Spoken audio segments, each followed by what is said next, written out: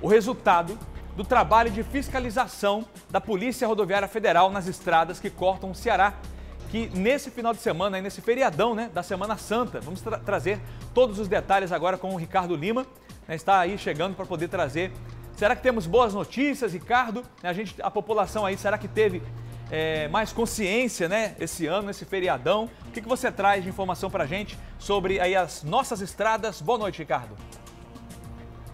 Boa noite, Ronaldo. Boa noite a todos. Olha, Ronaldo, primeiro eu queria pontuar aqui que, infelizmente, a Semana Santa ela tem mais mortes, mais infrações de trânsito do que mesmo o período de carnaval. Então, as pessoas têm que se conscientizar tanto da, de não misturar álcool e direção, como também respeitar o, o, feriado religioso como sendo um de conexão com o divino por todo o sacrifício que Jesus fez por nós. Mas Voltando aqui para a operação, ela ocorreu durante quatro dias e durante esses quatro dias houve uma redução no número de acidentes e mortos também, que é o que é mais importante, é o primordial para a operação, é justamente esse, é, é essa redução, né? E durante essa fiscalização, 3.815 veículos e 4.269 pessoas passaram por fiscalizações e essas fiscalizações elas resultaram em 1.253 autos de infração,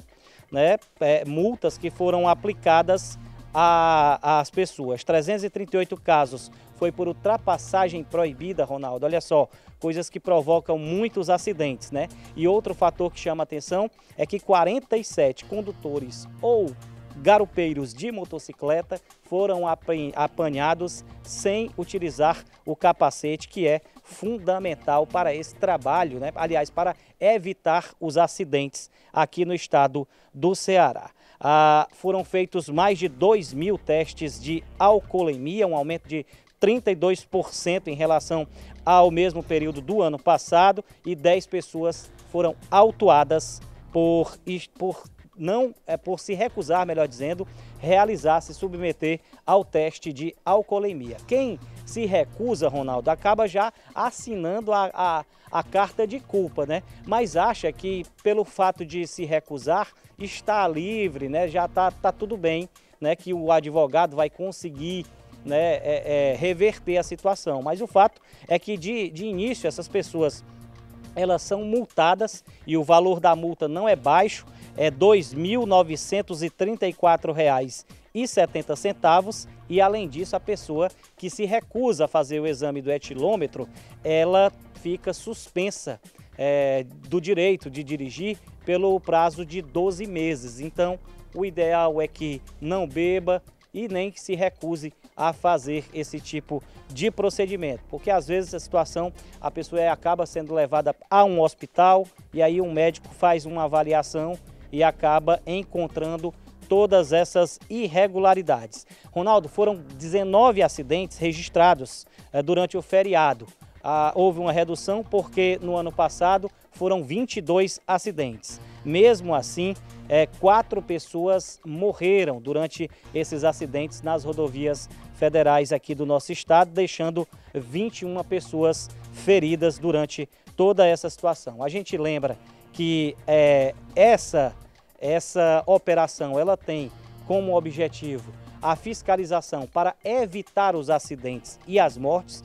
O número ele é decrescente, não somente pela fiscalização. É bem verdade que o motorista tem se conscientizado na grande maioria dos casos, mas tem uns que às vezes nem são da capital que vem para o interior ou nem são de uma distância longa, né, de onde decidiu passar a Semana Santa. E como mora ali perto, ali próximo, acha que vai dar e acaba é, fazendo a utilização do álcool, pegando a direção e quando pega as estradas, rodovias federais, é surpreendido por equipes da Polícia Rodoviária Federal que acaba fazendo essas autuações. Há quem ache que as multas que a gente falou aqui que foram aplicadas são somente com o intuito de arrecadar dinheiro, mas na verdade é, a polícia entende que se não mexer no bolso, na verdade não é a polícia, né?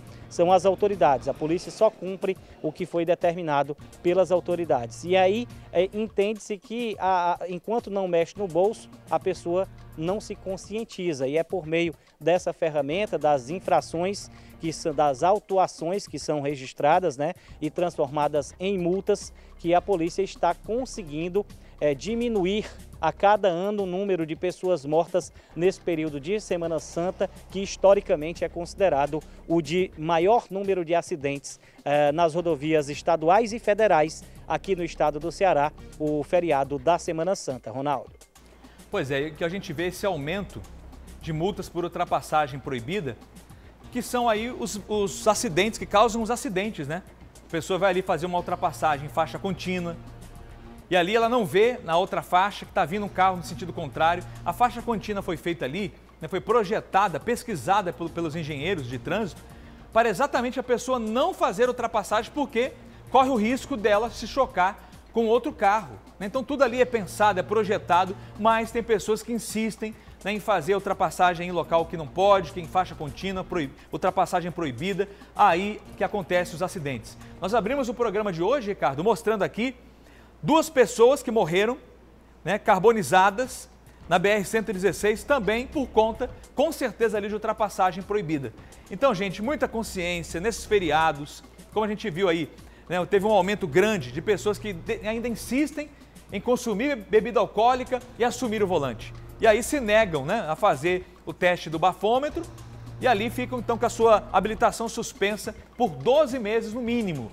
Né? Então a gente vê aí que tem que ter responsabilidade, principalmente com a sua vida, da sua família e de terceiros também.